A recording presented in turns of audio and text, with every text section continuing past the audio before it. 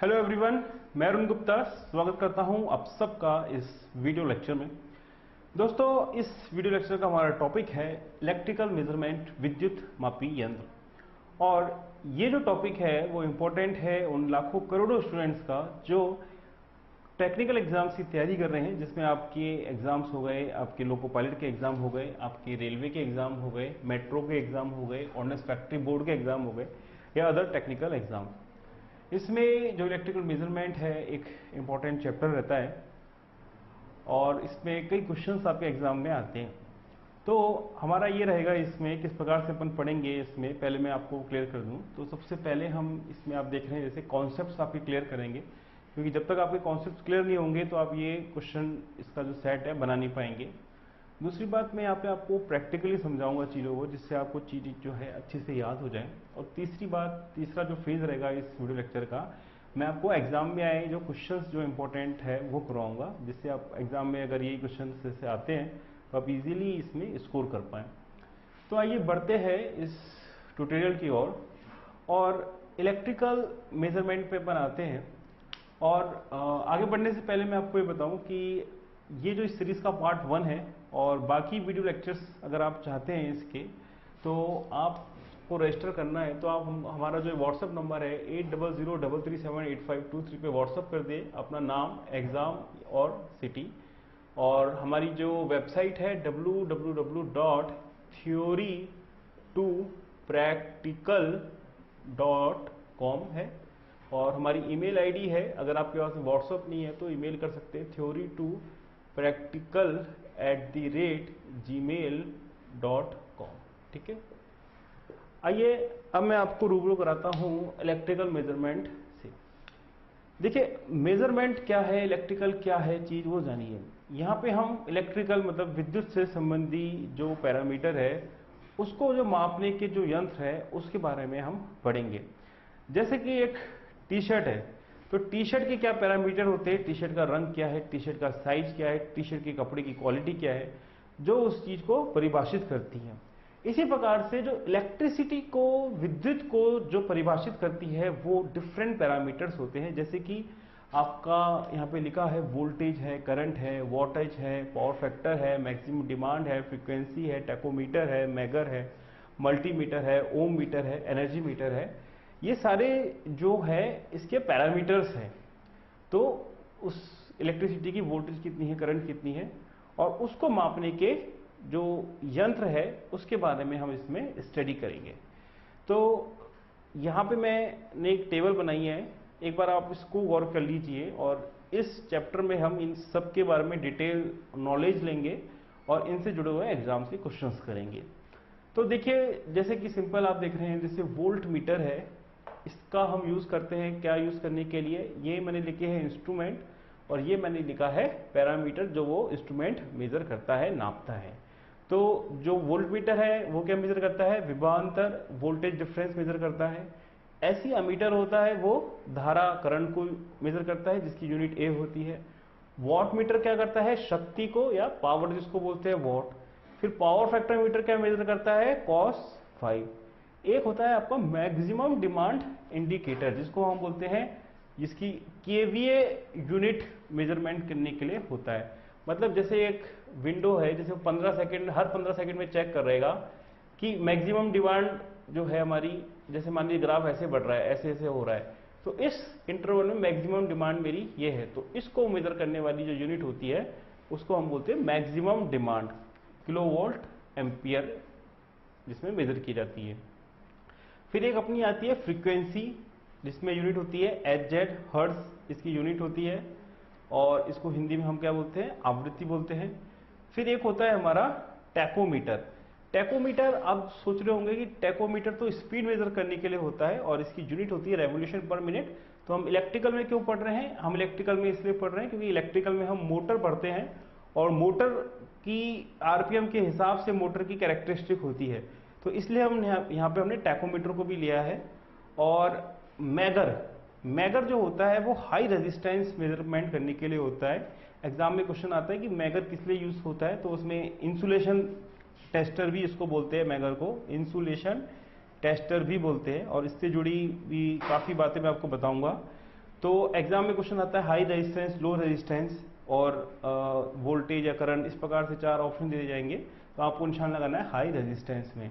Megger को याद करने का समझिए, मैगर, जैसे होता है ना, मेगा मेगा मतलब होता है टेन की पावर सिक्स होता है। तो उस हिसाब से ध्यान दीजिए हायर रेजिस्टेंस को मेजर करने के लिए मैं जो है यूज़ करूँगा मैगर को। आर फॉर रेजिस्टेंस हो गया और मैग मतलब मेगा मतलब हाई रेजिस्टेंस हो गया। फिर एक होता है मल्टीमीटर ए वी ओ जिसको बोलते हैं हम शॉर्ट में ए का मतलब होता है एम्पियर मीटर वी मतलब होता है वोल्टेज और ओ का मतलब होता है ओम मीटर, जिसमें एसी या डीसी वोल्टेज या करंट मेजर करेंगे और रेजिस्टेंस मीटर मेजर किया जाएगा। फिर उसके बाद में होता है ओम मीटर, जो रेजिस्टेंस मेजर के लिए होता है, प्रतिरोध मेजर करने के लिए होता है। और फिर जो, जैसे हमारे घरों में लगे रहते हैं, उसको हम बोलते हैं एनर्जी मीटर जो कि यूज़ होते हैं ऊर्जा मापने में या अपने एनर्जी मापने में। और इसकी जो यूनिट होती है, वो होती है दोस्तों किलोवाट आवर। आइए आगे बढ़ने से पहले कुछ मैं आपको इमेजेस दिखाऊँगा। इमेजेस क्या मैं आपको प्रैक्टिकली चीज़ों को दिखाऊँगा कि किस किस प्रकार के इंस्ट्रूमेंट्स होते हैं। ये आप देख रहे हैं, इस मूविंग कॉइल इंस्ट्रूमेंट है, इसके बारे में हम पढ़ेंगे अभी इसमें। इसमें ये तो है स्केल जिसको अपन पैमाना बोल रहे हैं। यह है संकेतक निडल है। और इसमें जो है, यहाँ पे अंदर दो मैग्नेट है और यहाँ पे आप एक कॉइल देख रहे होंगे, जिसमें कॉपर जो है, अट, लगा हुआ है, लिपटा हुआ है इस कुंडली में। तो ये है हमारे एनालॉग इंस्ट्रूमेंट बोलते हैं तो इसके बारे में हम डिटेल पढ़ेंगे। और एक, ये मैं आपको दिखाऊँगा, डिजिटल इंस्ट्रूमेंट है जैसे ये इसमें वोल्टेज और फ्रीक्वेंसी मेज़रमेंट करने के लिए यूनिट होती है, जिसमें डिजिटली वोल्टेज और करंट आ जाती है। और एक मैं आपको दिखाना चाहूँगा यहाँ पे आरपीएम मीटर दिखाना चाहूँगा। ये हमारे पास में ये आरपीएम मीटर है दोस्तों, और यहाँ पे ये एक इसमें से लाइट निकलती है, लेज़र लाइट निकलती है, जिसे हम मोटर की जो शाफ्ट है, उस पर एक कागज़ चिपका के उस पर और हमको मारना होता है, उस लाइट को थ्रो करना होता है। और यहाँ पे इस डिस्प्ले में वो जो है स्पीड जो है वो मेज़र कर देता है। ये वाला हम इसमें येलो वाला जो ये देख रहे हैं चमकीला सा ये हमको स्टिकर चिपकाना रहता है इसमें तो ये मैंने आपको ये दिखाया। और मॉडर्न इंस्ट्रूमेंट्स में आजकल जैसे ये आप देख रहे हैं एक इंस्ट्रूमेंट ये अराउंड आपका 44,000 का इंस्ट्रूमेंट रहता है और ये थ्री फ़ेज़ पावर एनालाइजर है ये उमा इलेक्ट्रॉनिक्स इंटरप्राइजेस का। इसमें voltage current voltage power factor एक ही इंस्ट्रूमेंट में आ जाते हैं और ये 600 वोल्ट 80 एम्पेयर की रेंज होती है। तो मैं ये सब आपको इसलिए दिखा रहा हूँ कि आपको समझ में आए कि किस किस प्रकार के इंस्ट्रूमेंट होते हैं। और एक मैंने बात करी थी आपसे मल्टीमीटर की तो ये मैं दिखाना चाहूँगा। ये आप देख रहे हैं, ये मल्टीमीटर है, ये इसमें जैक है, एक रेड है, यहाँ पे ब्लैक है, ये वोल्टेज मेज़रमेंट करने के लिए जैक है, और ये जो है हमारी करंट मेज़रमेंट करने की जैक है ये दोनों। तो यहाँ पे आप देख रहे हैं कि अभी ऑफ़ है, ये अभी ऑन हो गया, यहाँ पे एसी वोल्टेज ये डीसी वोल्टेज ये डीसी वोल्टेज का निशान है, ये एसी वोल्टेज का निशान है, और ये एमीटर है। ये आपका ओम रेजिस्टेंस मेजर करने के लिए। मतलब आप यहाँ पे करंट भी नाप रहे हैं वोल्ट भी नाप रहे हैं, और जो है रेजिस्टेंस भी नाप पा रहे हैं। तो ये कुछ जो है, मैंने आपको दिखाए इंस्ट्रूमेंट्स इलेक्ट्रिकल मेज़रमेंट के।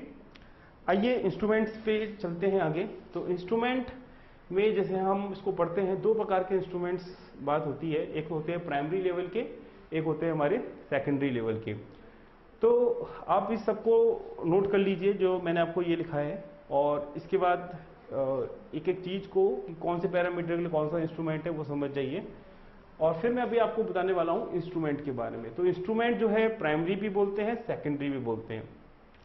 तो प्राइमरी जो होते हैं, वो बहुत ही सिंपल होते हैं और ये तो उसकी उपस्थिति को बताते हैं प्रेजेंस को बताने के लिए यूज़ करने के लिए जो होते हैं, वो होते हैं प्राइमरी इसका उदाहरण दोस्तों ये है कि जैसे कि एक मैग्नेटिक जो है, यहाँ पे एक रखा हुआ है कंपास रखा हुआ है, और यहाँ पे मैं अगर करंट वायर कैरिंग वायर है, इस वायर से करंट जा रहा है, और इसको मैं इसके पास रख दूँगा तो इसके मैग्नेटिक अफेक्ट की वजह से इसमें जो है ये इसके चेंज होगी डायरेक्शन ये मूव करेगा।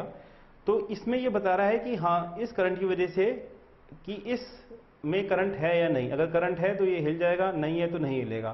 तो यहाँ पे ये इसकी उपस्थिति बताने के लिए प्रेजेंस बताने के लिए अगर यूज़ होगा तो उसको हम बोलेंगे प्राइमरी लेवल बोलेंगे। ये तो हो गया हमारा प्राइमरी लेवल का। फिर होता है एक सेकेंडरी लेवल का, जिसमें वो उस चीज़ की असल वैल्यू बताता है, असल मान बताता है, या फिर उसकी जो रियल वैल्यू है एग्जैक्ट वैल्यू है, वो बताते हैं हमारे सेकेंडरी इंस्ट्रूमेंट सेकेंडरी इंस्ट्रूमेंट दोस्तों तीन प्रकार के होते हैं इंडिकेटिंग रिकॉर्डिंग और इंटीग्रेटिंग इन तीनों में क्या अंतर है? जैसे इंडिकेटिंग का मतलब होता है कि इस समय अभी क्या वोल्टेज आ रही है, वो जो शो कर रहा है, वो हो गया हमारा इंडिकेटिंग इंस्टेंटेनियस या फिर इसको हम बोलते हैं क्षणिक. तो क्षणिक या इंस्टेंटेनियस जो वोल्टेज है, या करंट है, या रेजिस्टेंस है, जो भी चीज़ है इंस्टेंटेनियस तो उसके लिए होता है हमारा इंडिकेटिंग इंस्ट्रूमेंट फिर एक और होता है हमारा रिकॉर्डिंग इंस्ट्रूमेंट होते हैं। रिकॉर्डिंग इंस्ट्रूमेंट में यह है कि हम समय के साथ उस चीज़ की वैल्यू कितनी बढ़ रही है, उसका जो ग्राफ है, वो रिकॉर्ड करते हैं। तो ऐसे रिकॉर्डिंग वोल्ट मीटर आते हैं रिकॉर्डिंग अमीटर आते हैं। जैसे कि आपने सुबह नौ बजे चला दिया आपका ये रिकॉर्डिंग मीटर तो 9 बजे से लेकर और रात के जैसे मान लीजिए 12 बजे तक ये चल रहा है, ठीक है? 12 दोपहर के 12 पीएम तक ये चल रहा है मान लीजिए, ठीक है? तो ये एक ग्राफ पेपर रहेगा और उसमें वो वोल्टेज को दिखाता रहेगा कि 9 बजे इतना था, फिर बढ़ा फिर ये घटा। तो ये इस प्रकार से रिकॉर्ड कर रहा है। तो रिकॉर्ड ये ग्राफ पेपर में भी होता है और आजकल डिजिटल में एक पेन ड्राइव या फिर एस कार्ड में भी होता है। तो ये होता है रिकॉर्डिंग जिसको बोलते हैं या लॉगिंग जिसको बोलते हैं। और एक होती है हमारी कैटेगरी इंटीग्रेटिंग की। इंटीग्रेटिंग में क्या होता है कि ना केवल क्षणिक, हमको मतलब होता है कि लगातार पूरे समय तक वो कितना कंजप्शन उस चीज़ में हुआ है। और इस चीज़ का सबसे अच्छा उदाहरण है हमारे घरों में लगने वाला किलोवाट आवर मीटर। ये एक इंटीग्रेटिंग मीटर है। ये क्या करता है? जैसे आज मेरा अगस्त महीने का मेरा बिलिंग करना है तो अगस्त महीने की मेरी जैसे बिलिंग हो रही है तो फ़र्स्ट अगस्त से मैं शुरू किया और इकतीस अगस्त तक। तो जितनी भी मेरी रीडिंग है, वो किलो वाट है, उसका वो ऐड करता गया, ऐड करता गया 31 अगस्त तक। तो मैं अपने घर में कितनी बिजली टोटल मिला के यूज़ कर रहा हूँ, उसको समय से गुणा करके उसने निकाली, वो एनर्जी होगी हमारी, किलोवाट आवर, जिसमें वो ऐड करते जा रहा है तो ये है हमारा किलोवाट आवर इंटीग्रेटिंग टाइप। अब हम आगे एक एक इंस्ट्रूमेंट के बारे में समझेंगे क्या क्या चीज़ होती है इसमें, और फिर हम उसमें से कुछ क्वेश्चन उठाएँगे। अब मैं, मैंने आपको इंस्ट्रूमेंट्स के नाम बता दिए मेन मेन इंस्ट्रूमेंट्स क्या है क्या क्या पैरामीटर है, वो बता दिया।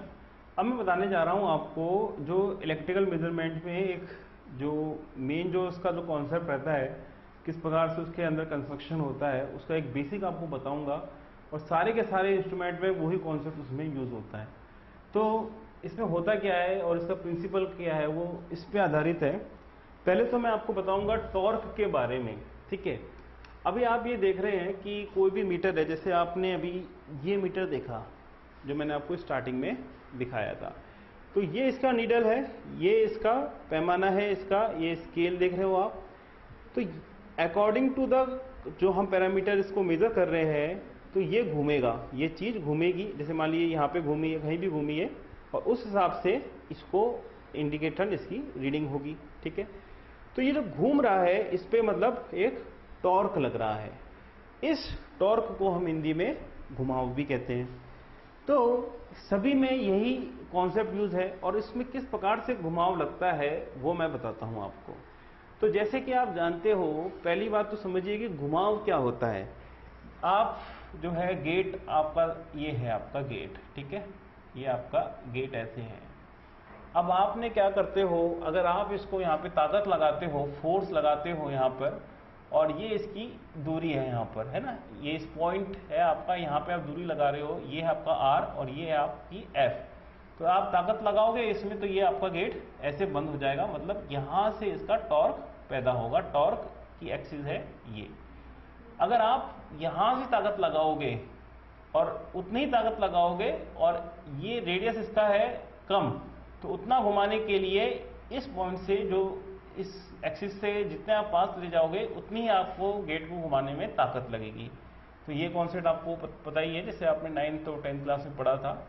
तो कहने का मतलब ये है कि जो टॉर्क है, वो होती है क्या? आर क्रॉस एफ़ मतलब एक्सिस से उस पॉइंट की दूरी जहाँ से अपन फोर्स लगा रहे हैं। जैसे यहाँ पे अपन फोर्स लगा रहे हैं और आर की दूरी। तो टॉर्क इजिकल टू आर और एफ़ का प्रोडक्ट है। ठीक है? ये आपको समझ में आई बात? अब जो F होता है, जो फोर्स होता है, जिसको हम हिंदी में बल कहते हैं, वो क्या होता है? वो ये समझ लीजिए। वो होता है आई एल क्रॉस बी क्या होता है वो?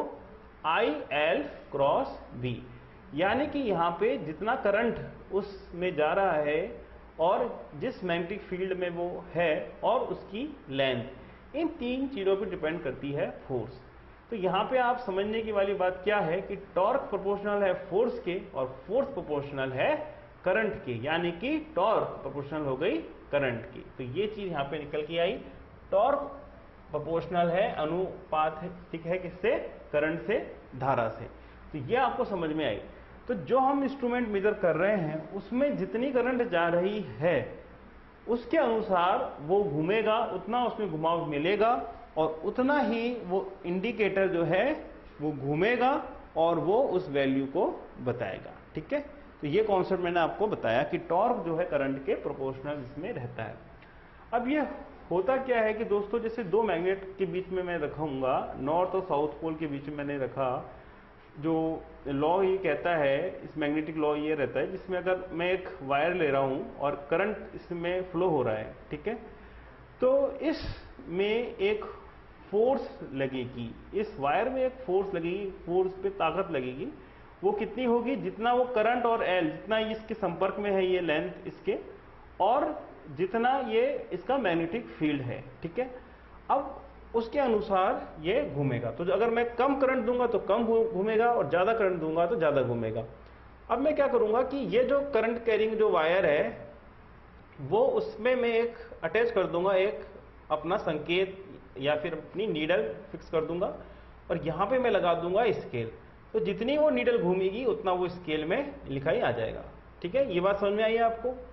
कि मेन जो बेसिक बात है टॉर्क आई के प्रोपोर्शनल है, ये आपने समझ लिया। घुमाव जो है करंट के प्रोपोर्शनल है। और ये जो एक लॉ है कि अगर एक दो मतलब एक मैग्नेटिक फ़ील्ड में अगर मैं एक वायर को रखता हूँ, जिसमें करंट कैरी हो रही है करंट जा रही है, धारा प्रभावित हो रही है तो इससे इसमें एक फोर्स लगेगी, जो फेरेडेलो के हिसाब से कि force equal to I L cross B है।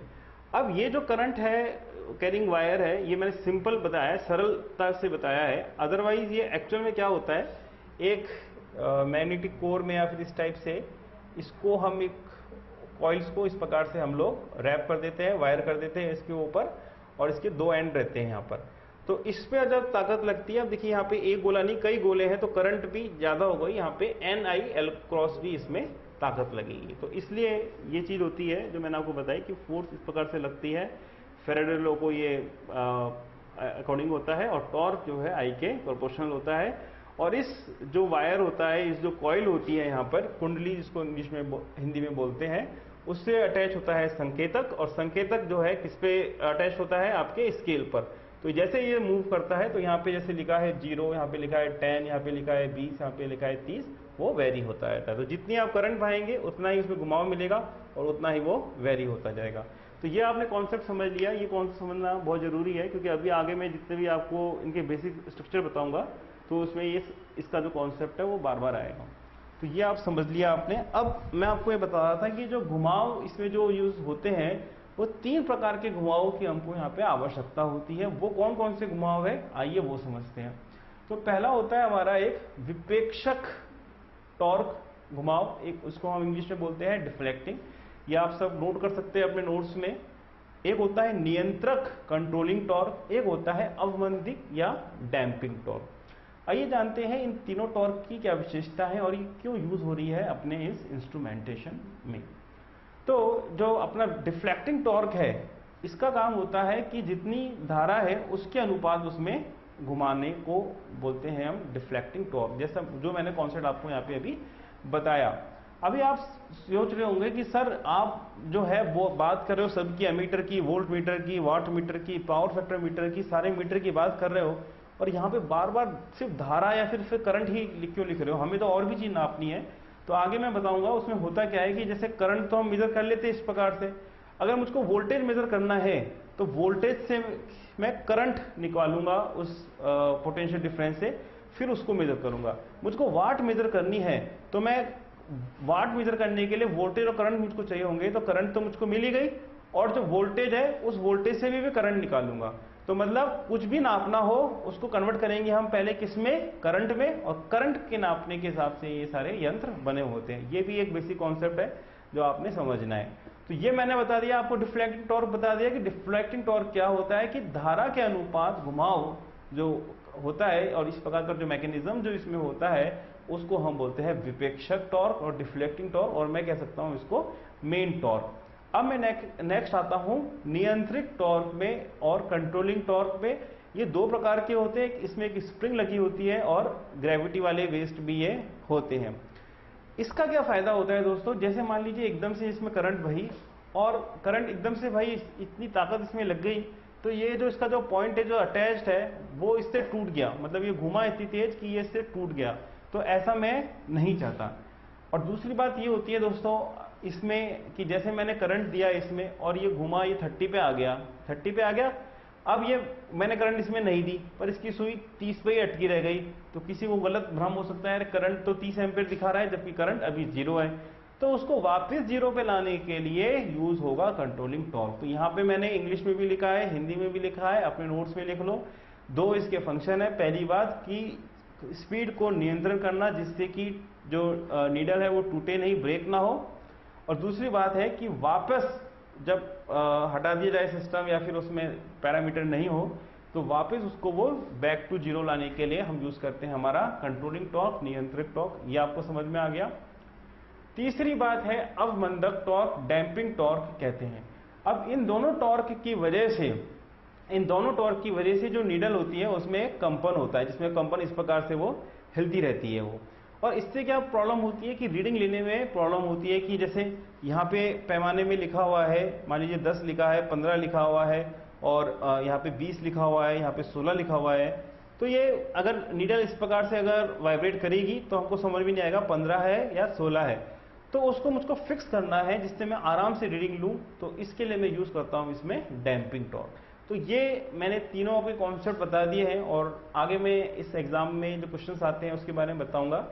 और damping torque air friction use करके एडी करंट यूज़ करके और फ्लूड या द्रव्य यूज़ करके वायु घर्षण एयर फ्रिक्शन को बोलते वो यूज़ करके मैं डैम्पिंग करता हूँ इन इंस्ट्रूमेंट में। तो दोस्तों, हमने जाना सबसे पहले कौन कौन से इंस्ट्रूमेंट है जिसके बारे में को पढ़ना है, और फिर उसमें हमने जाना कि सबसे जो बेसिक जो चीज़ रहती है उसमें वो जो नीडल है, सुई है, जो घूम रही है, वो जो घूम रही है उसका जो प्रिंसिपल है वो ये है Faraday's law force equal to I L cross D वाला फंडा मैंने बताया और torque equal to R cross F होता है घुमाव, और घुमाव जो है, और force I L cross B है तो टॉर्क आई के प्रोपोर्शनल है।